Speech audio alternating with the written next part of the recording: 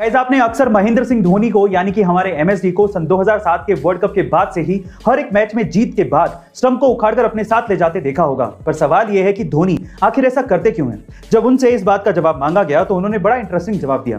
उन्होंने कहा कि यह मेरा रिटायरमेंट प्लान है। एक्चुअली जब भी मैं स्टंप को उखाड़ता हूँ तो मैं कभी नहीं लिखता कि वो मैंने कौन से मैच में किया था। और रिटायरमेंट के बाद मैं अपने ही वीडियोस को देखूँगा और ये सोचूँगा कि ये स्टंप मैंने कौन से मैच में उखाड़ा था। और रिटायरमेंट के बाद यही मेरा टाइम पास है। गाइज़ आपको धोनी के इस इंटरेस्टिंग आंसर पर क्या कहना है कमेंट सेक्शन में ज़रूर लिखेगा और ऐसे अमेजिंग वीडियोस के लिए शेयर सब्सक्राइब एंड लाइक मिलता अगली वीडियो में।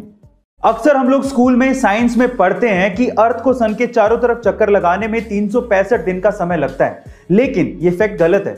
एक्चुअली अर्थ को सन के चारों तरफ़ चक्कर लगाने में तीन दिन नहीं, बल्कि तीन दिन, पाँच घंटे 59 मिनट और 16 सेकंड लगते हैं। इसी वजह से हर चौथा साल तीन दिन का होता है, जिसे हम लोग लीप ईयर भी कहते हैं, जिसमें फेब्रवरी 28 दिन की नहीं, बल्कि 29 दिन की होती है।